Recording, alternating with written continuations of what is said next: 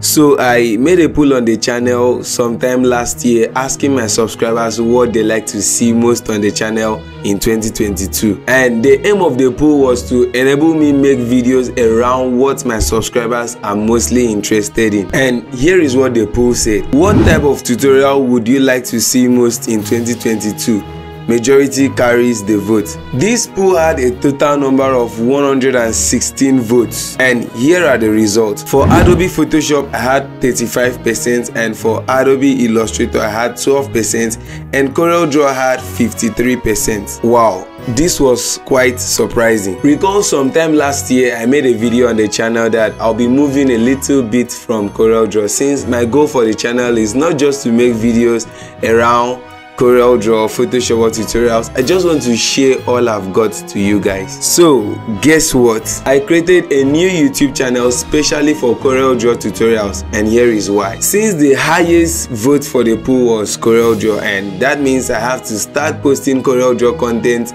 on the channel again. But since the YouTube algorithm favors channels that are more specific in their content, I had to create a new channel so I won't get the algorithm confused about my channel on recommending my videos. And that does not mean i will stop posting content on this main channel. It means i'll be posting more of adobe photoshop and adobe illustrator content on this main channel and more of CorelDRAW tutorials on the new channel. And I will make more storytelling and exciting videos on this main channel so don't give up yet cause we are still strong and up. So if CorelDRAW looks like what you are interested at, click on the very first link in the description and subscribe to the new channel. I will also link the channel on the comments below so you see it on the pinned comments below. Please subscribe and let's get the new channel to cross 1000 subscribers as fast as possible. This will encourage me to make more CorelDRAW related videos on the new channel. Thanks so much for being part of my community and I will see you in the next video. Peace.